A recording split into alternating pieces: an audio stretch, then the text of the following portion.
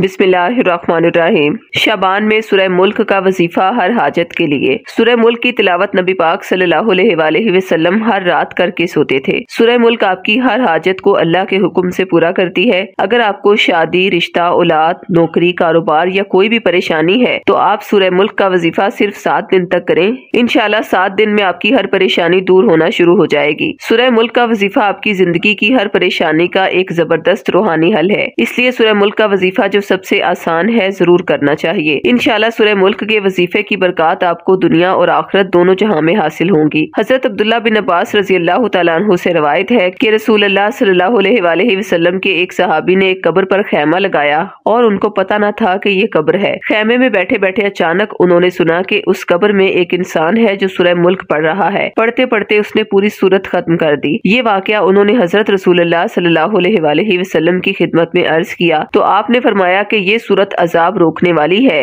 ये सूरत अजाब से निजात देने वाली है। इसको कब्र के अजाब से बचा रही है। इस तरह हज़रत जाबिर रज़ी अल्लाह से रवायत है कि नबी करीम वसल्लम सूरह सजदा और सूरह मुल्क पढ़े बगैर नहीं सोते थे। इसलिए आप भी माह शाबान में हर रोज सूरह मुल्क की तिलावत को ज़रूर अपना मामूल बना लें और इसके अलावा आप हमारे रूहानी सेंटर से सूरह मुल्क का नक्श भी अपने नाम से मनसूब करवा के हासिल कर सकते हैं। नक्श मंगवाने के लिए अभी हमसे रबता करें। सिफर तीन सिफर नौ तीन पाँच एक दो पाँच दो पाँच।